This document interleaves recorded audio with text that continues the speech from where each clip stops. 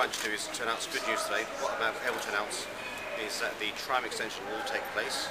We know since 2004 millions of people use the tram. Last year 10 million people used the tram. The announcement today means an extension to Beeston, to Clifton as well, and it will mean that millions more will be able to use the tram. It will regenerate and make this wonderful city even more wonderful. Your important question, how is it going to be funded? Is it wise to be investing, particularly in this economic climate? We believe that we should invest in all parts of our country. Nottingham is a wonderful city uh, and is worthy of more investment, in more jobs, more regeneration. What we've announced today is £513 million invested by the government. The City Council has taken the, the brave decision, I believe the correct decision, to fund a contribution towards that. They'll be contributing 150 million pounds.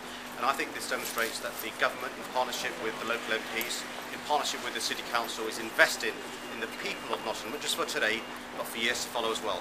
I understand that you're going to be endorsing the, uh, the workplace parking levy as a one way of uh, helping to fund this project. Um, not going to prove entirely popular with, with everyone. Is this going to signal a start of funding similar to this for similar projects elsewhere as well? Well, it's for the City Council to decide how they fund their share of the contribution. They've decided that they want to fund this via workplace levy. What it means is that they'll be able to contribute their share towards it, which means that the tram can extend. And look, if we are committed to having a planet that survives into the 21st, 22nd century, if we're committed to encourage people to use their cars less, if we're committed to having growth in the city, then the council needs to find ways of funding this. And I'll make this point. Uh, we've looked at the figures the council have given us, and uh, more than 85% of businesses have 10 or less car parking spaces, so they're not eligible to pay the, the workplace levy.